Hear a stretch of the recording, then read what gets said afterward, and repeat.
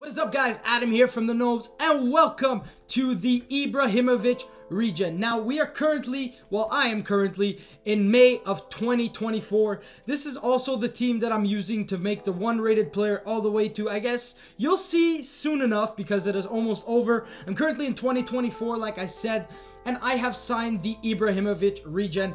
Uh, Ibrahimovic retired about two or three years back, I think in 2020 or 2021 and I picked him up uh, he was around maybe a 70, 70 something, and he's gotten to a pretty good rating, and he's only 24 or 25 years old. You'll see him right here. There he is.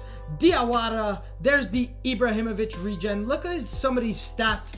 Uh, like I said, no, he's 24, uh, 5'11", 147 pounds. Not at all built physically like Ibra, but striker, left-footed, high-low attacking and um, defensive work rates, three-star weak foot, uh, three-star skill moves, unlike Ibra, but then we have, look at his stats, uh, 79 attack positioning, 97 acceleration, 95 agility, 97 balance, 89 reactions, 98 sprint speed, and let's go look at his technical attributes, 97 ball control, 86 crossing, 96 curve, 95 dribbling, 81 finishing, 87 free kick accuracy, 92 shot power, 85 penalties, 84 long shots, 74 heading accuracy. He is just a beast, an all-around beast, and he is an 85 rated.